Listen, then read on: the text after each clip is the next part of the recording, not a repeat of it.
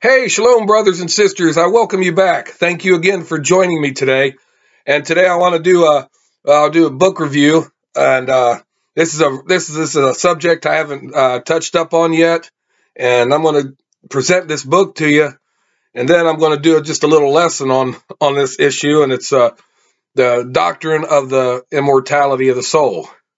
And uh, anyways, uh, this book is uh, called Immortality or Resurrection, a biblical study on uh, human nature and destiny.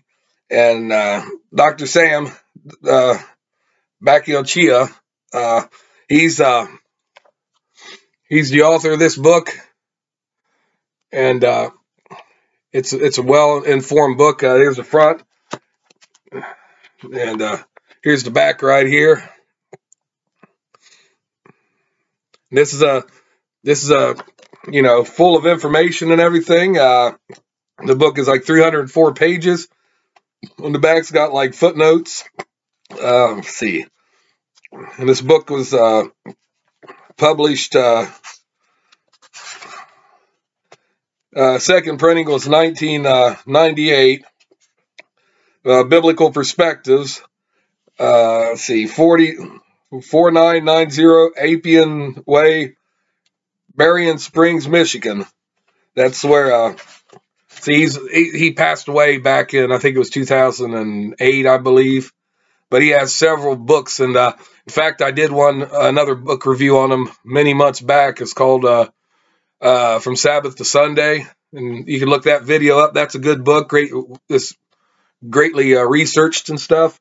But uh, yeah, this book here, he's uh he gets into the immortality of the soul, which uh is basically all began with uh pagan Greeks, the Greeks, you know, they believed in the immortality of the soul. You you know, there's things about when you pass away, the soul goes back up to heaven or whatever. Uh, there's other things where the body is bad and the soul is good. The body is the prison of the soul it's a prison, and once you pass away, the soul is released and you know does whatever goes around, does whatever. But uh, I'm gonna read some. I'm gonna read some uh, uh, things for you here. I'm gonna go to page 48, and it says uh, uh, soul and blood. Uh, I'm just gonna read read a little, give you a little glimpse on what the book's about here. Hey, page 48. Uh, life is a translation. Life, the word life is a translation of the Hebrew Nefesh.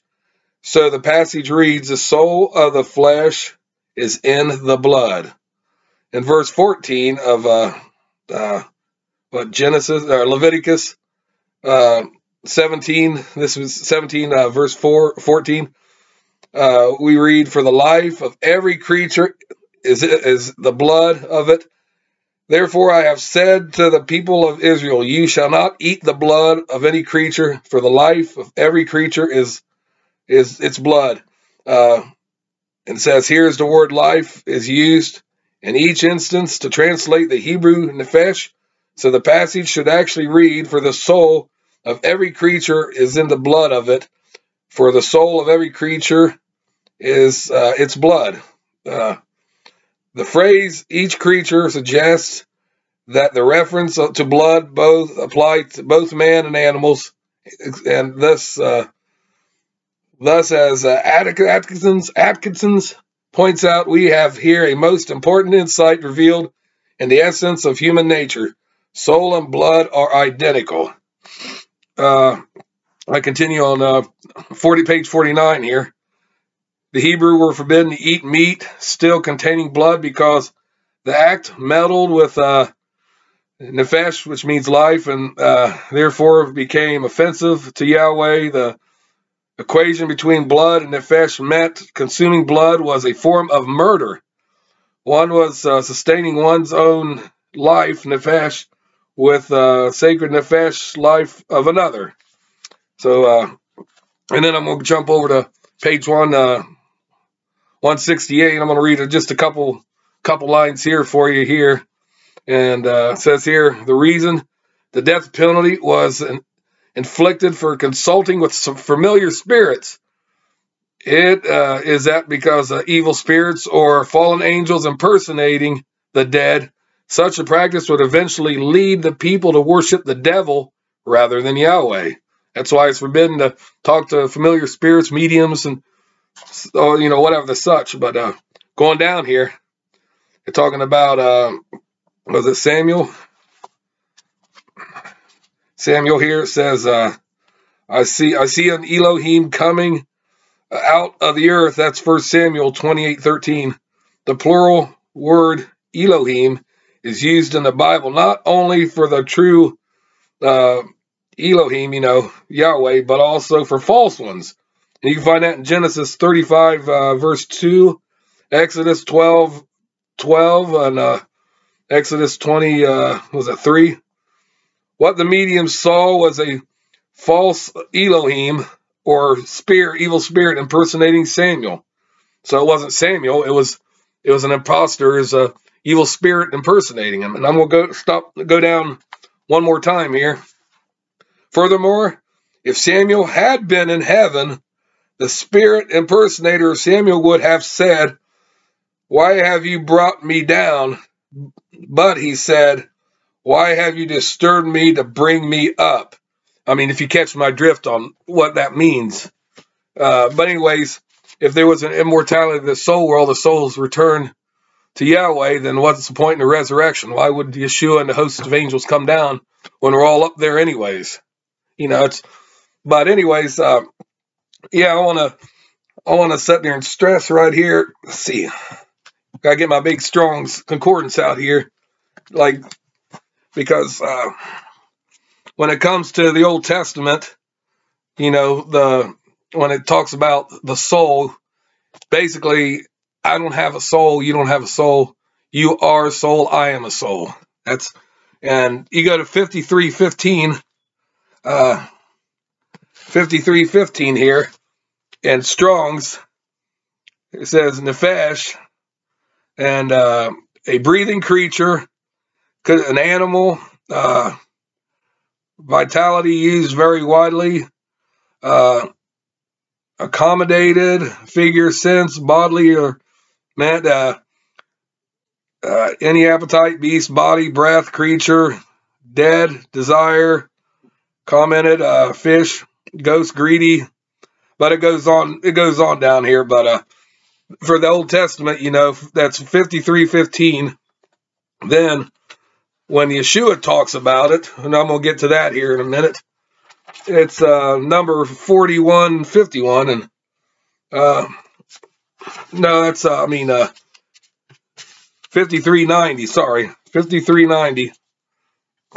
Uh, let's see, where'd that go?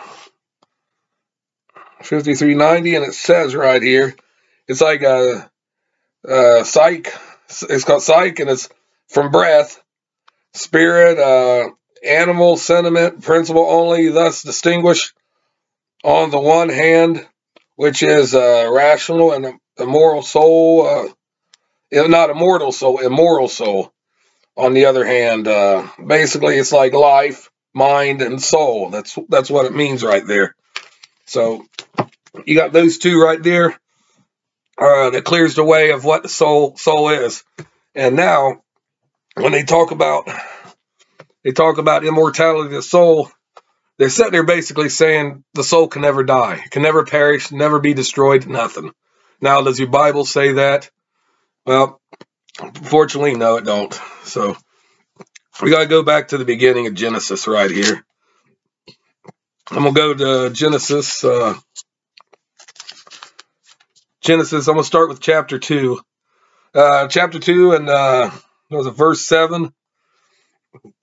And right here it says, And Yahweh Elohim formed man of the dust of the ground and breathed into his nostrils the breath of life. And the man became a living soul. So like we said before, you know, life and soul are basic are basically synonymous. They're like intertwined together. So he became a living soul. And uh, if I, I skip over to uh, chapter three and uh, verse two to five, this is when uh, the first lie. This is the first recorded lie. It's when uh, the serpent tempted Eve, and here's what here's what's said. starting with verse, uh, was verse 2? And the woman said unto the serpent, We may eat of the fruit of the trees of the garden, but of the fruit of the tree which is in the midst of the garden, Elohim said, You shall not eat of it, neither shall you touch it, lest you die. And the serpent said unto the woman, You shall not surely die, for Elohim uh, doth know that in the day you eat thereof, your eyes will, shall be opened, and you shall be as mighty ones, knowing good from evil. So this is the first lie, and it's about basically uh, the devil is saying, uh, you know, you know going to have immortality. You're going to be like you're going to be like a mighty one. You know, you're going to be like him and others.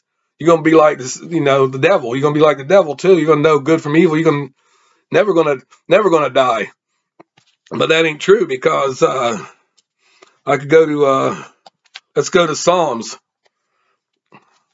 Let's see, jump to Psalms and it'd be uh, verse 40 right here. 40, uh, yeah, verse 40 and, uh, or chapter 40, verse, uh, 14. And it says right here, let them be ashamed and confounded together that seek after my soul to destroy. It, uh, it let them be driven backward and put to shame that wish me evil. So there, somebody's coming after after the soul to destroy it. Now, if you could never destroy a soul, there'd be no part and no point in trying to destroy it if it wasn't possible. So, yeah, now we're to go, I'm to go to uh, the New Testament, Mark.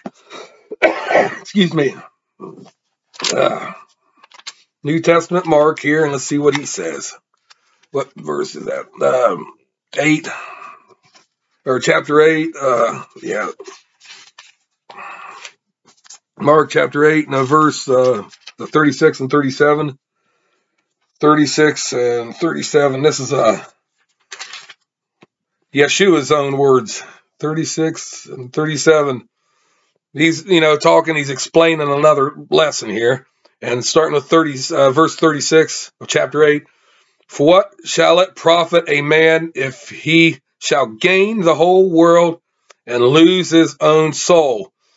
or what shall a man give in exchange for his soul? So what does it profit? What's the profit if you know you're selling your your soul, your life?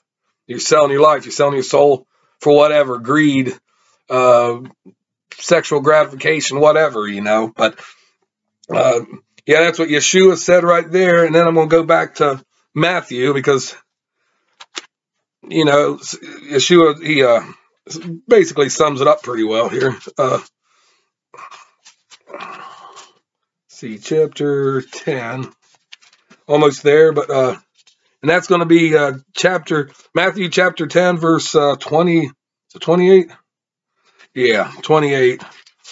And says right here, and fear not that which kill the body, but are not able to kill, to kill the soul, but rather fear him which is able to destroy both soul and body in Gehenna, Gehenna fire. And that's what Yeshua said right there. So immortality of the soul is a, it's a Greek concept, you know, Greek thought and idea back then with the philosophers trying to debate on the nature of man and you're talking about different, you know, mighty ones, gods, whatever you want to call them. And and I just I never touched up on it until now when I did this book review, this Dr. Sam's book review, I decided to put some of that little lesson in on this. And uh, yeah, I don't, you know, there ain't no point in there ain't no point in believing it. I, you know, crept into the church slowly through the centuries. It crept into the church and finally gained some steam and you know, first it got its foot in the door and then it wiggled its way into through the narrow crack a lot of people they don't study it. They don't, you know, they don't study the topic. They don't see if it's in the Bible or not in the Bible. And that's the importance. You need to you need to know that. You need to study your your scriptures to prove, you know, prove yourself right or wrong. And that's just a problem we uh the dilemma we face today. Not enough time to study the scriptures because of work or workload or or just technology and you know like being on the phone all the time clicking away looking staring at the screen. But but anyways that's enough for me right now. And i hope you do get that book. And also i thank you again for joining me. And uh you also uh please give me a big thumbs up and hit that notification bell and also i appreciate if you subscribe and I thank you again. Until we meet again, peace out and shalom.